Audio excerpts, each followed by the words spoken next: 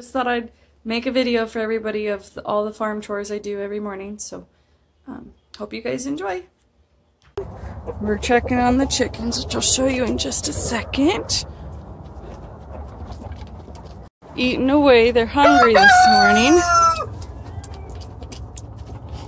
They've gotten really, really big. We let them out in the yard and basically everywhere now. So.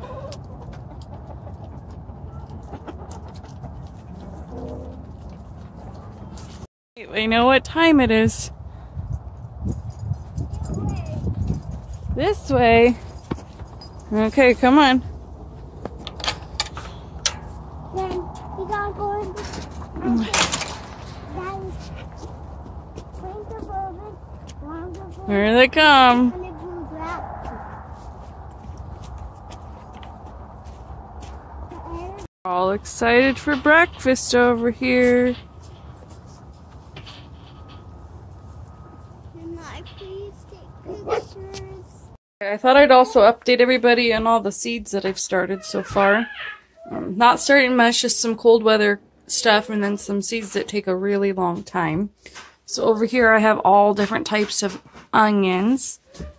They're just barely starting to come up. I don't know if you could see.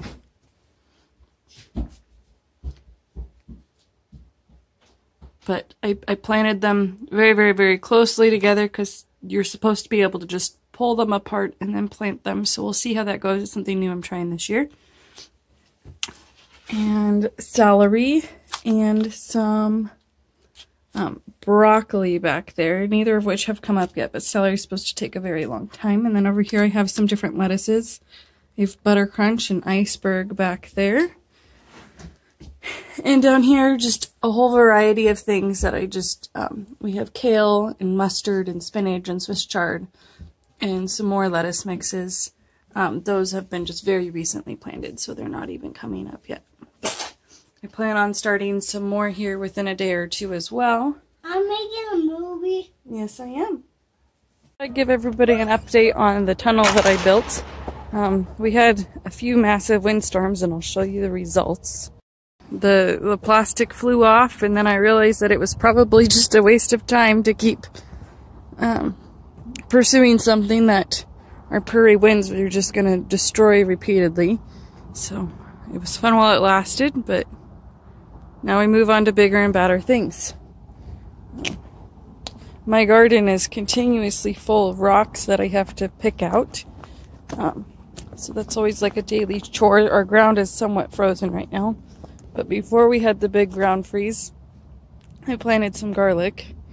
Um, we'll see if anything comes from it. Also show everybody my um, herb garden. Most of it's dead, but I have a couple things that are still kind of peeking through the winter, so that's pretty fun. Which is still holding strong. And we have little itty bitty um, chive starts coming up for the spring, so that's super exciting. Um, some rosemary is still peeked through. Parsley's trying, not succeeding very well.